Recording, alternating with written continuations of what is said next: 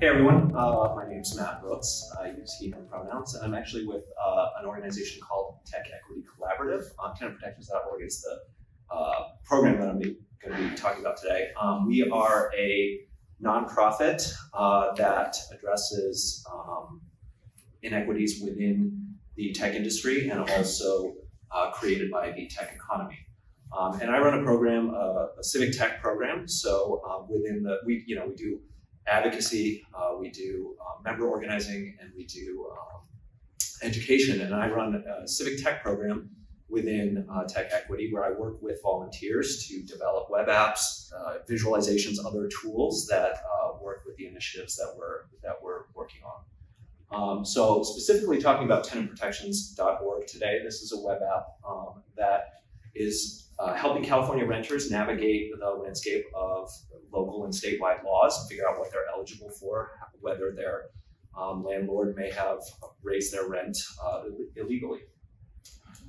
Um, so a little bit, bit of background on rent control in California. Um, the Tenant Protection Act was passed in 2019, and that extended a, a cap to people who qualify um, statewide. Um, and based on estimates, we think that that extended some form of rent cap to approximately 8 million people in California. We've got 40 million people in the state, about 45% of us are renters. Um, so that's a lot of people um, that, that then got covered by rent control. There's also, going back much further, there's about 25 municipalities in California that have a local ordinance.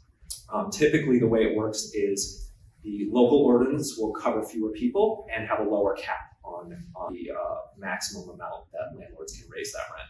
While the statewide ordinance is kind of a wider net, like I said, uh, extended to 8 million people who weren't previously covered, um, but that cap's a lot higher on the statewide. And one thing we see is with those local ordinances is they're very specific. Um, so, you know, those eligibility requirements are different in every municipality. Um, it's often very confusing whether you're covered or not. Um, and you know, different municipalities have different levels of uh, uh, kind of clarity in how they document and present that information on their city website or whatever. Um, it can be really hard to tell or, or to know just by Googling it, uh, depending where you live, whether you're covered or not. So we built this app to um, help people figure that out. Um, so very simple web app that we built here. Uh, we've got a we've got an eligibility quiz.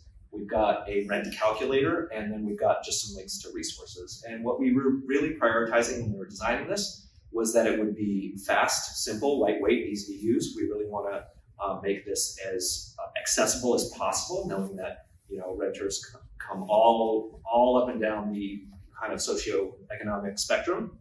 And uh, we wanted to really hide some of these complex uh, eligibility requirements from the, from the users. And then all everything that is developed with my volunteer team is open source. We try to make stuff as maintainable as possible. So we built a built a really simple app here, and I'm going to show a couple of screenshots. Uh, I don't, I think the screenshots didn't come through too well here, but um, just to get an idea of what the app looks like. You've got your landing page. Um, I was trying to give you a give you a sense of um, uh, some some of the questions we asked. When was your uh, building built? Um, what type of building do you live in?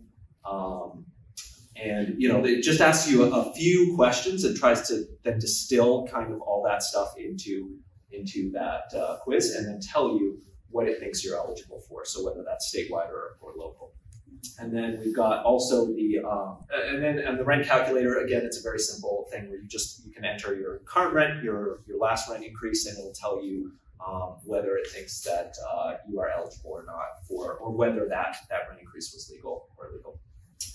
Um, just want to real quick talk about some of the challenges here. Uh, you know, I think uh, research was actually, uh, we really underestimated the research lift on this. And so we worked with an organization called ACE, the Alliance of Californians for Community Empowerment, to do that research and kind of take all those laws and turn them into a matrix that we could then spit out into just a, a file that we could run, you know, run those checks against.